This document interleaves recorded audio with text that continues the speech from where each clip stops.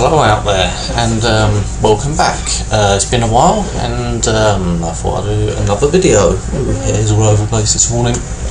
Right then, um, gonna run through uh, something that uh, every engineer should know. Okay, a lot of you actually uh, do know how to do it correctly, and there's loads of you that think you know how to do it correctly, and you do an absolutely uh, poor job of it.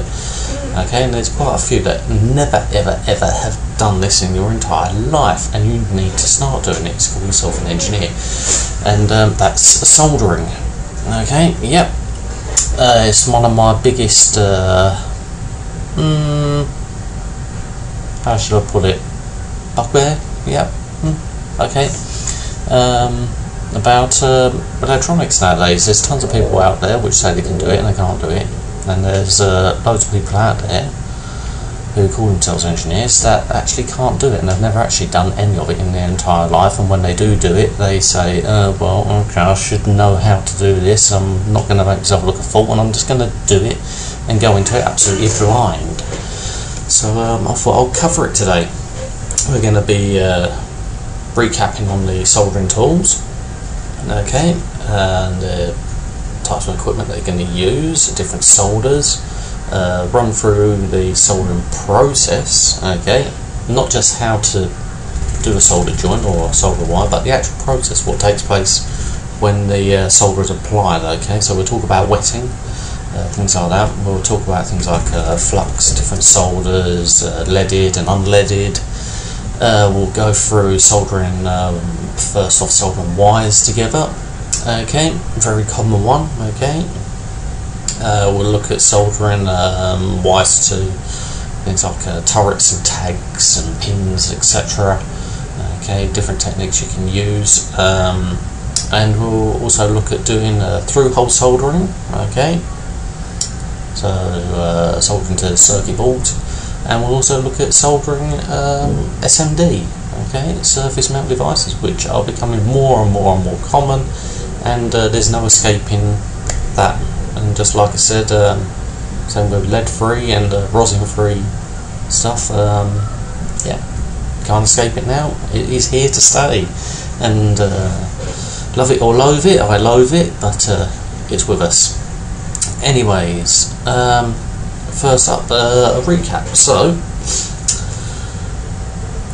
I guess uh, soldering irons first okay? Now if you take a look up here got some soldering irons okay make sure that you don't get uh, one of these ones okay? These are um, the mains plug in sort of cheap and cheerful soldering irons okay?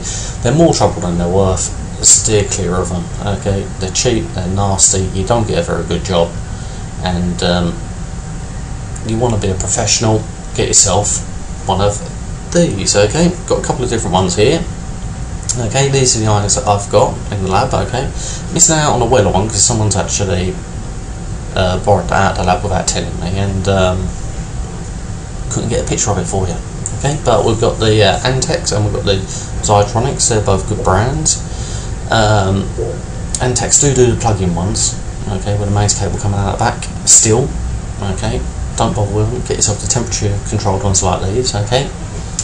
Reason being, temperature control ones allow you to do small joints, big joints, um, shields, um, soldering onto large areas like ground planes and things like that. So you can you can vary the, the temperature on it that you're actually getting at the tip. So it allows you to do the whole range of soldering. Okay, the ones that you plug in the wall, they're stuck with one particular temperature. Either they'll be too hot and they'll ruin what you're soldering. They'll be too cold and they won't solder properly, you get a very bad joint, which joint which will just break over time.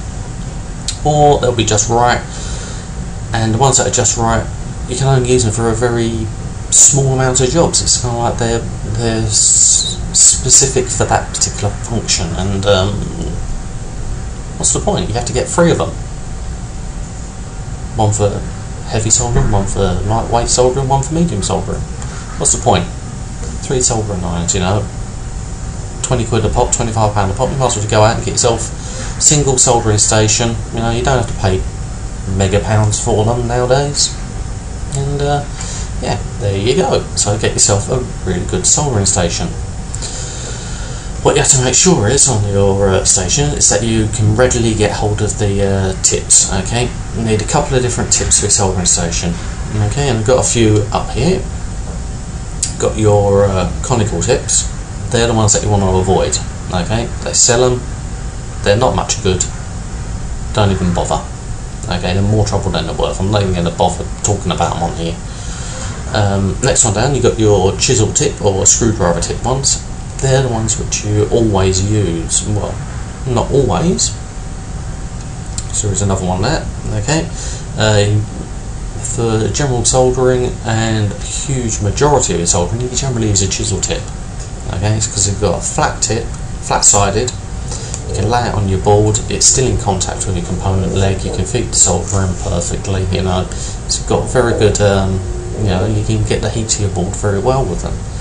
Same goes for um, these ones here. These are called uh, one of the name. They've got multiple names. Um, uh, 45 degree angle soldering tips or um, bevel tips.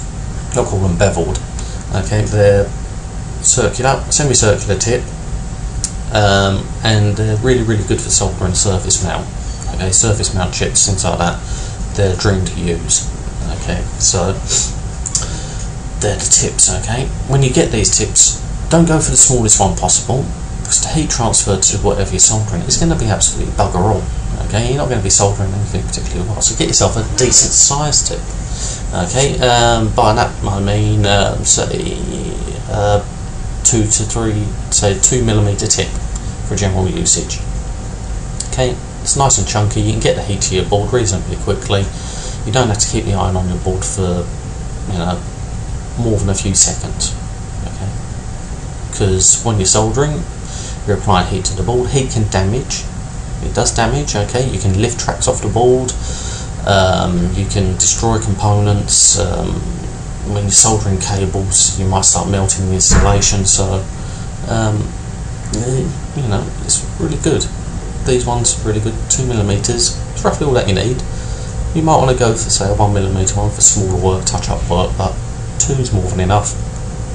With the bevel tip ones, say two to three millimeters, perfectly fine. Okay, um, like I say, you can go lower if you want to do touch-up work, but for general usage, stick to mid-range. Okay, about two millimeter size bits. They're perfect. They're all that you need, and they'll do absolutely every job imaginable. And just because it's SMD, it's small, don't worry about it. Don't worry, okay, if it's a big bit. Mm -hmm. If you do soldering properly, you won't have a problem. The only time when you need to use a small bit is if you've got to get into very, very tight spaces. They're the only time when you really need to use them. Next up, uh, I suppose, is solder. Um, now then, big, big, big uh, thing solder is. Okay, it comes in lots and lots and lots of different types. You can get um, uh, solder bars for um, things like uh, reflow tanks, um, wave soldering, etc. Buying bars, you melt the tank, slide your board across it, everything's soldered in place. Don't really use that for hand soldering, so I'm not going to cover it. Same goes for ball solder okay you can get soldering balls okay and uh, the images are all flying up here okay take a look okay exactly the same thing uh, pellets exactly the same thing okay they're all used mainly for industrial soldering uh, wave soldering things like that okay uh, the ones that we're going to be concentrating here is either the uh, wide solder looks like this or the solder paste okay and it actually looks like that Okay, they're the ones that you use predominantly when you're soldering. Okay, you're doing hand soldering with the irons that's shown you. They're the dead solders what you need. Now, solder comes in two types. Two types, leaded and unleaded. Okay, first time that you solder, use leaded. It's really, really good. It flows very, very well, and um, it's really difficult to screw up what you're doing if you do it the right way. It's almost impossible to. get the unleaded variety, there are a lot of pitfalls. Okay, you have to be very careful how you solder. Okay, so we'll cover that towards the end. For now, we'll do the uh, leaded soldering. So, uh, we take the solder wire. You can get different sizes, okay, and different uh, flux content in your solder. Thinner solder, the less flux there is. So here's an example. Thin solder, it's got single core flux through the middle. Next size up, say, uh, what was it, a 0.7, 0.8 millimeter solder. Uh, you've got a multi-cored flux, which looks like this, okay. Solder paste, already seen that, okay, but here it is again. And um, it contain, you can get it containing flux and you can get ones that can, don't contain flux. Same thing goes for solder wire as well. You can get ones which don't contain any flux. Don't bother with them. You need the flux. Okay, flux is very important because it's uh, used for uh, wetting. Okay, and uh, I'll give you a demonstration of what we mean by wetting uh, right now with a um, leaded solder where it contains flux and it doesn't contain flux okay so let's see what it looks like and in doing that I'll do it in the lab well this is a sheet of copper. Okay that we're going to be soldering to. I haven't bothered cleaning the surface um, yet because uh, all that I'm doing here is a uh, demonstration of different solders and uh, how they solder to the uh, material.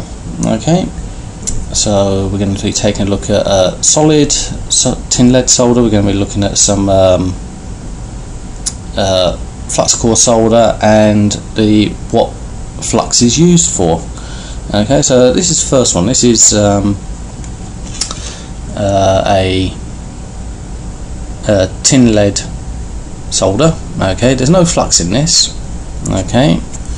And uh, this is what happens when you you don't use flux. Okay iron onto the board melt me uh, solder in. As you can see it's uh, not taken to the copper at all it looks like it is on the camera but it isn't if I move this about you can see it's not really bonding with the copper it's not merging there's no wetting taking place okay and the reason for that is um, because you've got a well, the reason for that is copper is very, very reactive to the atmosphere, to the air, okay, what we breathe. Um, and uh, what happens is, is that you get a uh, copper oxide layer building up. Uh, there you go, you can see me, there's the solder, okay, it hasn't took to the board at all. What happens is you get a copper oxide layer building up on this board, and it prevents solder from um, taking to the board and um, the wetting process doesn't uh, take place. By wetting, I mean um, it's the process where the solder and the copper, the surface copper, fuses together and it creates a new alloy. Okay, of uh, in this case it would be tin lead copper. Okay, it's only very very small level. It, it just seeps in. It's just enough to, for the solder to seep in, for the solvent action to take place, and uh, fuse with the copper and um, what I have somewhere is some uh, tin there it is over here. Okay here's the other solder it looks exactly the same as the other one okay except this has got a flux core to it okay? And um, what flux does is it's it's an actual, actual it's a cleaner it's, it's like an acid okay? And it just takes off the um, polishes off the surface of the uh, copper. So we'll do it on the we'll do it on this section here uh, up here okay. I've got a fingerprint here okay so it's pretty nasty. Okay and bother cleaning it. And uh, we'll solder in. And uh, there we go look look at that. It's took straight away. Nice and right it's not can't knock it off or anything. It's uh, on there. There we have it okay. So actually wetted okay and it's fused with the copper surface okay and that's what the use of flux is but sometimes um, if your copper is particularly badly oxidized okay you might need to polish it up a bit and if you get a solder which uh, isn't flux or anything like that. You can buy the flux separately. And what I've got here is a uh, flux pen. Okay, you can see it there, and uh, that's the tip. It's like a felt tip pen. You can wipe it on the surface of the copper. Okay, so I've got a flux area. And if we go back to our um, the original solder, which I showed you at the beginning, which didn't actually tape to the board, because we've now got some uh, flux here on the board, okay, you can actually solder to it quite nicely. There it is. Okay, this is what flux does. It, it acts as a uh, cleaner to the board, allowing the solder to take to take to the copper. So whenever you go out to the uh, store and you buy your first lot of copper, always make sure that it's uh, this stuff with the uh, flux core, so the uh, flux can actually uh, eat away at the copper, the copper oxide layer, okay, allowing you to solder it to the board. And when you actually soldered, I don't know, it's not that good underneath this webcam because the camera still hasn't turned up. Okay, my camcorder, which I was hoping to have. Okay, but what you're aiming for when you're doing this, okay, is um, nice shiny joint. It should be uh, slightly concave. In this case, it's dome because it's we haven't got a component there or anything. But um, yeah, you can see it. And uh, just to iterate that uh, wetting process, okay, where the uh, two fuse together, I'll just uh, suck up this uh, solder. We'll get rid of the solder first. Suck it off with a solder sucker. Yeah, you can still see I've got a slight bit of solder here, so let's uh, take off a little bit more and uh, have it. This is a very, very smooth layer of uh, solder here. It's, it is, in actual fact, um, alloyed to the board. You'll never actually be able to get all that solder off unless you scrub and scrub and scrub it with a, an abrasive rubber. Similar to what I soldering, showed you in the soldering tools, okay, you got that abrasive rubber to surface clean your copper board with. Okay, and uh, yeah, to get rid of that oxide. And um, yeah, the only way to get that off is either to cut it out or um, sand it off or rub it off or um, you know it's, it's well and truly on there okay so solder takes to the copper. Now if he didn't have this wetting process and he, his solder didn't take it was an actual fact like this uh, ball shaped copper here okay these components aren't going to solder to the board it's going to fly off the board aren't they? So flux is very very important. And uh, we'll just go through that on the whiteboard um, just to run over it again. And um, we'll start doing some soldering of uh, wires and I'll show you how to um, the uh, soldering process from uh, start to finish okay? Cleaning the tips uh, tinning and um, soldering some cables together